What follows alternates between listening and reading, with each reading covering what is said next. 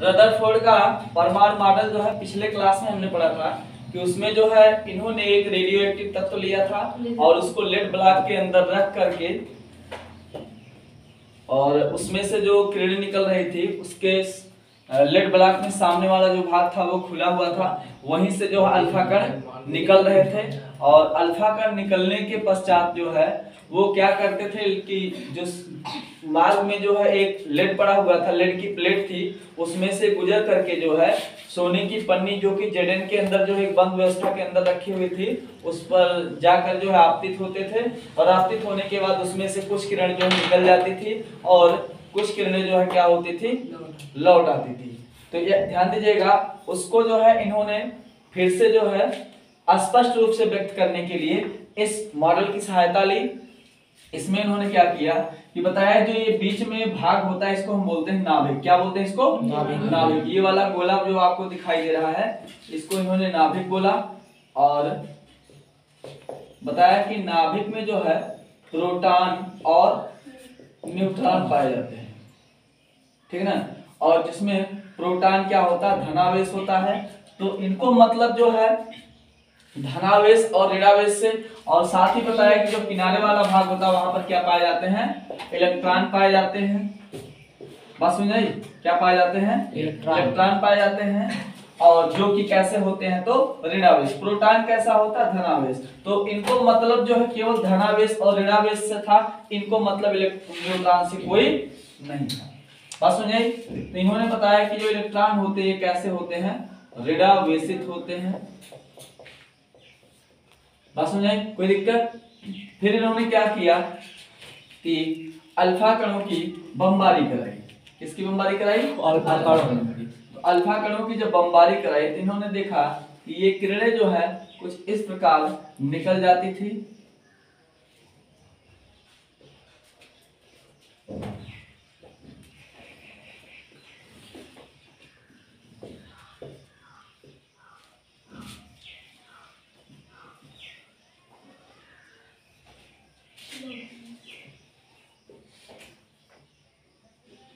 चीज़ ध्यान दीजिएगा ये सारी की सारी किरणें निकल जा रही हैं। ये वाली किरण आपको स्पेशली ध्यान देना है ये इधर से जाती है और यहाँ से टकरा करके क्या हो जाती है? वापस। वापस हो जाती है।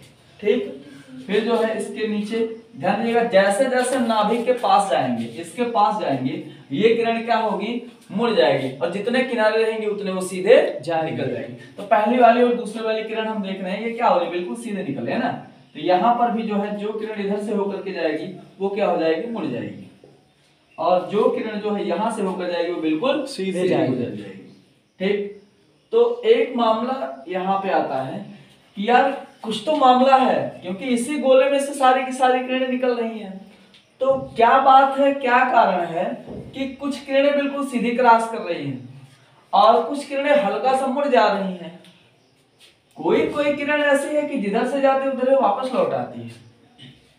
बात सुनिए तो आपसे मान लीजिए, बोला जाए कि आप जो है, किसी छत पर दौड़ कर सीधा कूद जाइए। तो आप जो है, जितना दूरी पर जाके गिरेंगे, आपको गेस हो जाएगा कितना, एक मीटर, दो मीटर, चार मीटर, छह मीटर बस नहीं दस मीटर, इतना जाएँगे। लेकिन अगर आपसे बोला जाए कि आप जो है, आपको जहाँ से पिछली बार कुदवाया गया था। अब की बार क्या किया जाए, वहाँ पर जो है, एक, कोई माध्यम दे दिया जाए, जिससे जो है, आपको थोड़ा सा आपकी गति को थोड़ा सा कम किया जाए। मान लीजिए वहाँ पे शीशा लगा दिया गया तो शीशे को तोड़कर आप कूदेंगे तो सीधा सीधा मामला है कि वो आपके लिए थोड़ा सा रुकावट का माध्यम बना नहीं बना। तो आप उतना दूर जा पाएँगे, दोबारा नहीं जाएँगे। तीसरी बार क्या किया गया कि पन्नी बाँध दी गई। मोटी वाली तो पन्नी लेके जाएँगे। पन्नी तो फटने वाली है, फटने वाली चीज़ है नहीं जल्दी। पन्नी को लेके जाएँगे और नज़दीक गिरेंगे। यहाँ पर भी वही चीज़ हुआ कि जब ये चीज़ किरण जो खुले में जा रही ना तो बहुत चौड़ी होके जा रही है। मतलब एकदम से चौड़ी आके जा रही है। इसको कोई दिक्कत नहीं, कोई तकलीफ़ नहीं है। ठीक। आई वाला जो है, दूसरा वाला किरण, इसको थोड़ा सा बुखार हो गया है। अब तीसरा वाला जो ना, ये एड्स का मरीज़ है पूरा पूरा बेचारा लंगड़ाते हुए चलता है आराम से। ठीक। तो इन्होंने कहा कि ऐसा है कि जब किसी भी किरण को कोई डिस्टरबेंस नहीं होगा किसी तरह से बाधित नहीं किया जाएगा तो वो बिल्कुल सीधी जाएगी। जाएगी। जिस किरण को थोड़ा बहुत दिक्कत होगा वो क्या करेगी? अपना मार्ग थोड़ा बहुत बदल देगी। लेकिन जिस किरण को मार्ग भगाया जाएगा वो किरण अब क्या होगी? जिस रास्ते से जाएगी उधर रास्ते से रोते हुए आँसू पोछते हुए वापस आ जाएगी। तो ये वाली किरण देख रहे हैं ना ये वाली किरण जब इसके पास गई इसने थोड़ा बहुत एक आध हाथ मारा इसको एक आध हाथ मारा तो इधर मुड़ गई। ठीक है और ये वाला भाग जो ये वाले भाग से जो किरण जाके टकराई वो बिल्कुल वापस आ गई। तो इन इसका मतलब इनको कोई मारने वाला था इन दोनों किरणों को? नहीं। इन दोनों किरणों को? इसका मतलब यहाँ पे कोई नहीं तो ये खाली एक नहीं है। तो हम कह सकते हैं कि किसी भी परमाणु का किनारे वाला भाग रिक्त होता खाली होता खोखला होता कि भरा हुआ होता? है रिक्त होता। है हाँ तो ये जो किरणें जहाँ से जा रही है ये भाग कैसा है?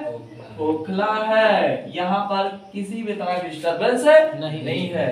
ये किरण कैसे यहाँ वाला भाग कैसा है? तो खोखला। है। बात सुनाई नहीं समझाई ठीक। और जो नाभिक वाला भाग है डायरेक्ट जो हम मार के भगा रहा है दो तीन थप्पड़ इसका मतलब ये कैसा है? बहुत ही मज़बूत है हल्का है। मज़बूत। और ये ठोस होता है अर्थात हम कह सकते हैं कि नाभिक वाला भाग जो है भरा हुआ होता है। ठीक है ना? रिक्त नहीं होता। है कोई दिक्कत? यही इनका क्या था? परमाणु मॉडल मतलब इनका जो ब्लैक वाला एक्सपेरिमेंट था पहले वाले वीडियो में जो हम लोग पढ़े थे जो ब्लैक वाला एक्सपेरिमेंट था उसको इन्होंने क्या किया कि पन्नी उसमें लिए थे ना पन्नी को इन्होंने इन्होंने क्या किया यहाँ पर थोड़ा सा विस्तार कर दिया जूम कर दिया। बस यही इनका क्या था परमाणु मॉडल कोई दिक्कत? इसमें इन्होंने क्या किया अल्फ़ा कणों की बमबारी कराई। किसकी? अल्फ़ा कण। और एक अल्फ़ा कण किसके बराबर होता है? एक एक हीलियम। हीलियम के बराबर। हीलियम परमाणु के बराबर होता है। अब अल्फ़ा कणों की बमबारी जब करवाई तो इन्होंने देखा कि जितने किनारे से जो है किरण जाएगी वो उतने आराम से जाएगी वहाँ पे कोई भी विचलन डिस्टरबेंस नहीं होगा। जैसे जैसे हम परमाणु में जो है अंदर की तरफ़ जाते हैं धीरे धीरे विचलन शुरू होता है। और इन्होंने अभी बताया कि ये जो विचलन वाला मामला है ये बीस हज़ार में से एक किरण जो वापस लौटने वाली किरण ये वाली है ना? बीस हज़ार में से कितना? एक एक किरण। वापस लौटती है। अर्थात हम कह सकते हैं कि विचलन ये जो वापस आने वाली किरणें हैं ये बहुत कम होती बहुत ज़्यादा बहुत ज़्यादा। बहुत कम। होती हैं। अरे यार बीस हज़ार में से एक अब जैसे मान लीजिए आपको जो है बीस हज़ार का जो है वो सौ सौ का नोट दिया जाए बीस हज़ार ठीक है, है ना? अब थोड़ा सा एक आध नोट फटा हुआ हो तो कोई दिक्कत है नहीं ना तो उसमें बहुत ज़्यादा अंतर आएगा नहीं आएगा। तो वैसे जो है बीस हज़ार में से एक किरण जो है डिस्टर्ब हो जाती है तो कोई दिक्कत नहीं नहीं होती। यही क्या था रदरफोर्ड का परमाणु? मॉडल। बस में इसको बना लीजिए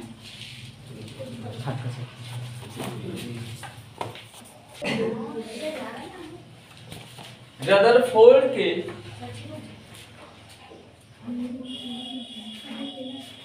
रदरफोर्ड के परमाणु मॉडल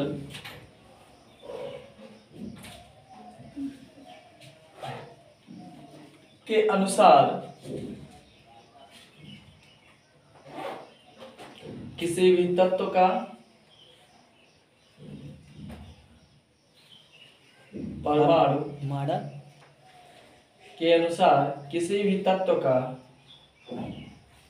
परमाणु उदासीन होता है।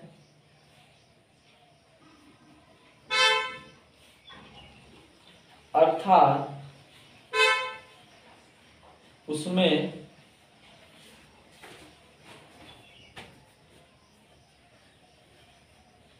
धनावेशों एवं ऋणावेशों की संख्या।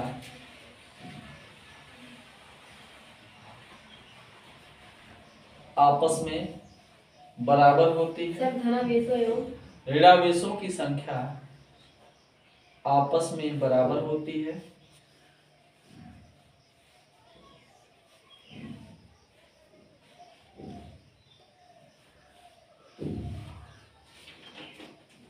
और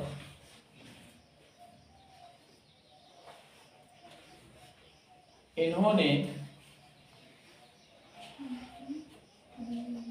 धनावेश एवं ऋणावेश की प्रकृति को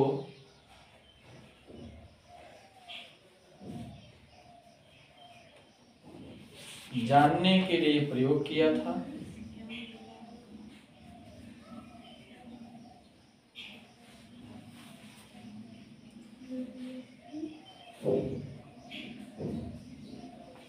जानने का जानने के लिए प्रयोग किया था और उनका प्रयोग निम्नवत है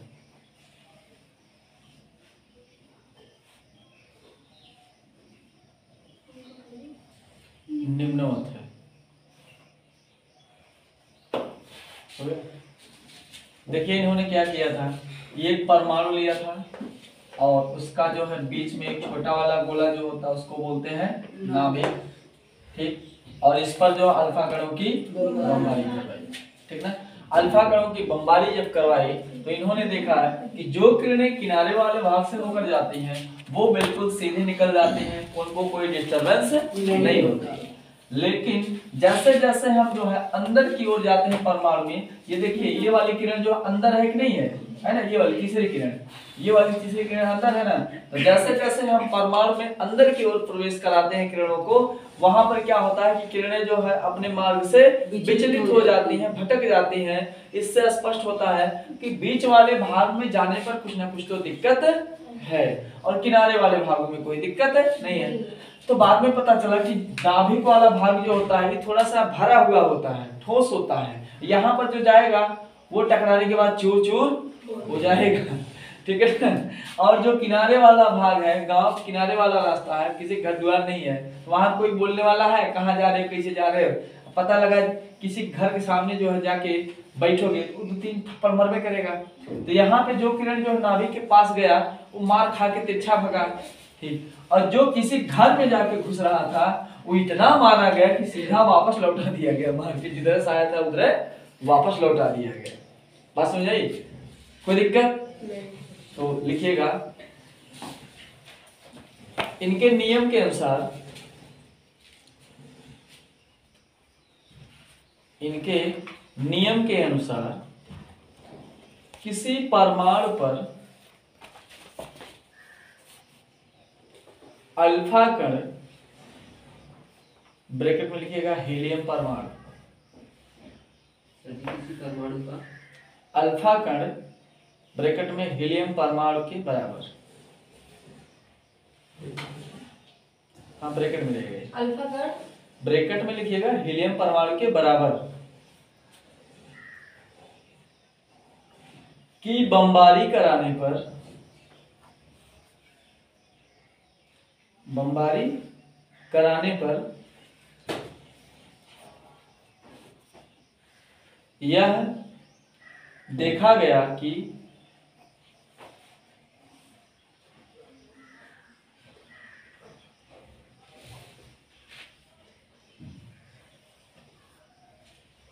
किरणें जब परमाणु पर आकर आपतित होती है। किरणें जब परमाणु पर आकर आपतित होती है।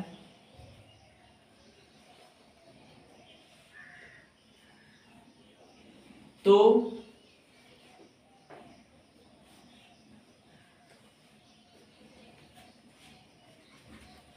जो किरणें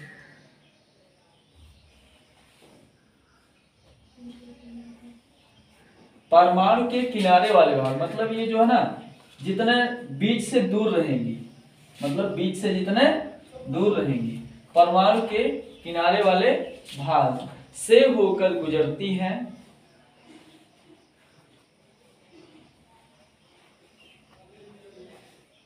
वे बिना विचलित हुए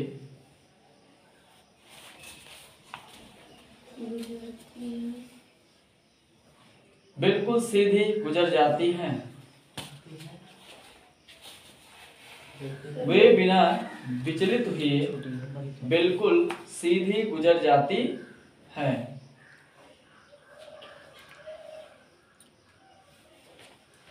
और जैसे जैसे अल्फ़ा जैसे जैसे। जैसे तैसे अल्फ़ा। स्पीड लिखो यार थोड़ा बहुत धीरे लिखना है आपको। क्या लिखें भैया? जैसे जैसे अल्फ़ा। जैसे जैसे अल्फ़ा। कण परमाणु में अंदर की ओर ये देखिए तीसरी। किरण नंबर एक हो गया मान लेते हैं इसको मान लेते हैं पहले ये दूसरी और ये तीसरी वाली अंदर है ना? तो ये जब इस गोले के पास है दूर है छोटे वाले गोले के पास। छोटे वाले गोले से तीसरी किरण ये वाली किरण जो है दूर है पास है? बात है। पास है। तो जैसे जैसे पास होगी इसका प्रभाव पड़ेगा नहीं पड़ेगा। पड़ेगा। ठीक ना? क्या लिखे? अल्फ़ा परमाणु में अंदर की ओर। अल्फ़ा कण परमाणु में अंदर की ओर। परमाणु में अंदर। की ओर प्रवेश करता है। प्रवेश करता है। स्पीड थोड़ा सा बढ़ाइए इंटर में परीक्षा आपको देना पता लगा डेली दो क्वेश्चन छोड़ के आएँगे कोई मतलब नहीं है फिर। ठीक है ना? काम छह महीने में आप करिए बहुत बढ़िया करिए कोई मतलब नहीं। आप जो है कम समय में बढ़िया करिए उसका जो है मायने रखता है। अब पता लगा आप जो है ज़्यादा समय ले रहे हैं और एक काम कर रहे हैं उतने जैसे मान लीजिए दो लड़के हैं। एक लड़का जो है पंद्रह मिनट में कोई क्वेश्चन कर लेता है और एक लड़का जो वही क्वेश्चन आठ नौ दस मिनट में कर लेता है। तो रिज़ल्ट दोनों का सेम आया लेकिन समय जो है एक ने कम लिया तो जो समय कम लेगा उसकी वैल्यू ज़्यादा होगी। जैसे आप जो रेस कंपटीशन में देखते हैं दौड़ता वो भी दो पैर से दौड़ता वो भी है। दौड़ वो भी फाइनल करता वो भी फाइनल करता लेकिन सिलेक्शन किसका होता है? जो कम लेता है। ठीक ना? तो अपने आप में जो है सुधारने का प्रयास कीजिए कि हमको ऐसा बनना ऐसा करना है। आप खुद सोचिए कि अगर आपका पड़ोसिया लिख लेता आपके बगल वाला लड़का लड़की लिख लेता है तो आप खुद सोचिए हमारे अंदर कमी हम वहाँ तक क्यों नहीं पहुँच पा रहे हैं। हैं? क्योंकि उसके पास भी वही हड्डी है दो सौ छह हड्डी उसके पास भी है दो सौ बारह नहीं है। ठीक है ना? तो आप सोचिए हम धीरे लिख रहे हैं। इसका मतलब हमको तेज होना चाहिए। ठीक है? लास्ट टाइम बोलिएगा। लास्ट लाइन अंदर की ओर प्रवेश करता है। तो ये किरणें अपने मार्ग से ये किरणें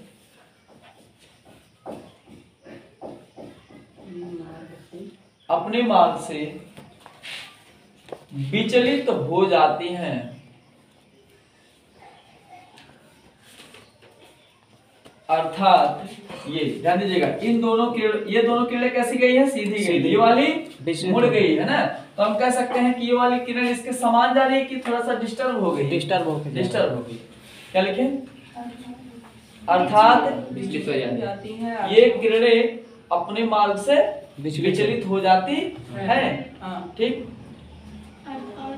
और जो किरण ठीक परमाणु के नाभिक से जाकर टकराती है।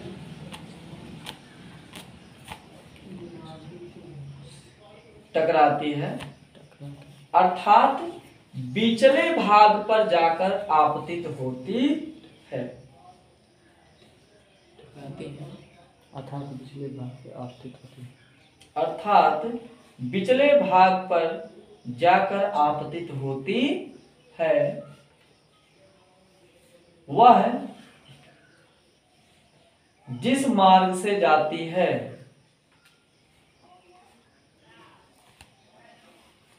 उसी मार्ग पर वापस भी लौट आती है।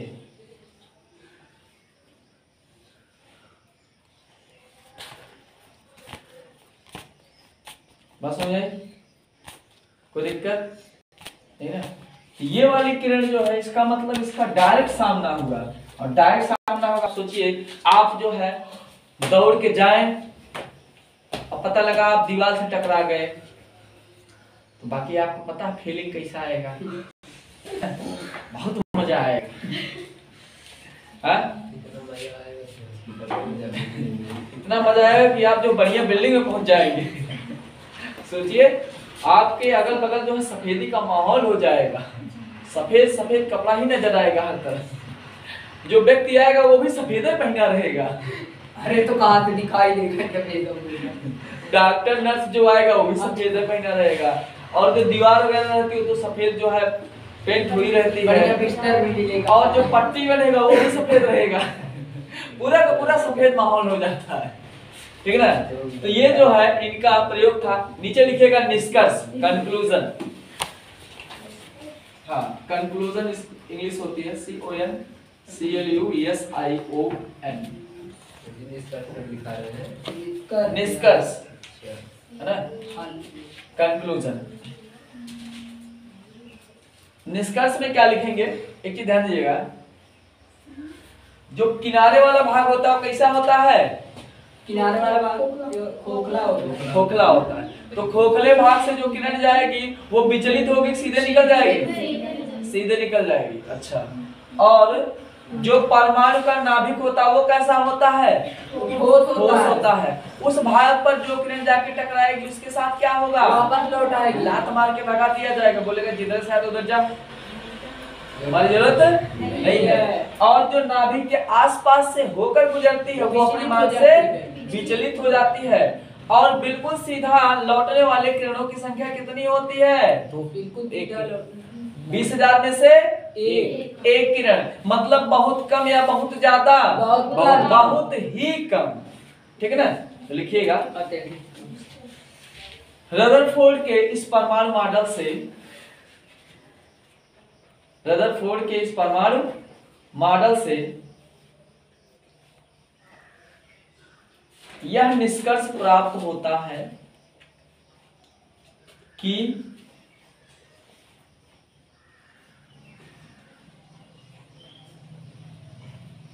परमाणु के किनारे वाला भाग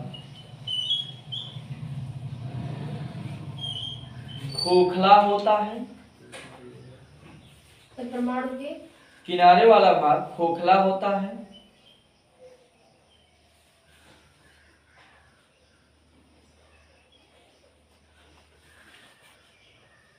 अतः इन खोखले भागों से,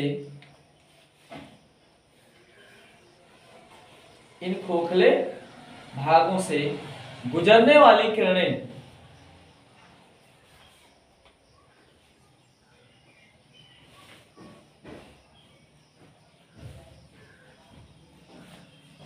गुजरने वाली किरणें। बिल्कुल सीधी होकर जाती हैं।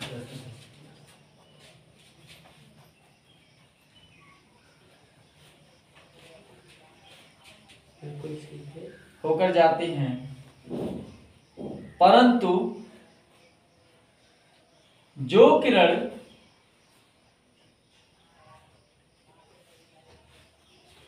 परमाणु के बिचले भाग, बीच वाले भाग लिखिए, परमाणु के बीच वाले भाग,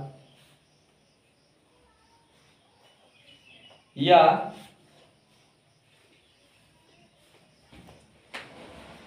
नाभिक से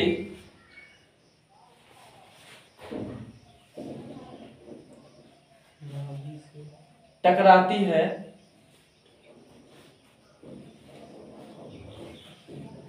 वो जिस मार्ग से जाती हैं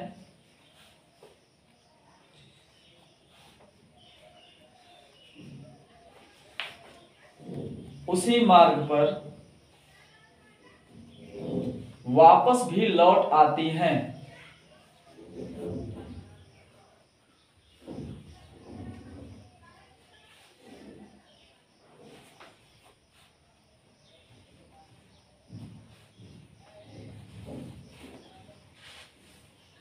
तथा नाभिक के आसपास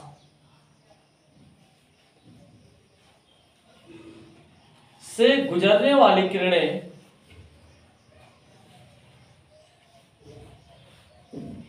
भी अपने मार्ग से किरणें भी अपने मार्ग से विचलित होकर इधर उधर मुड़ जाती हैं।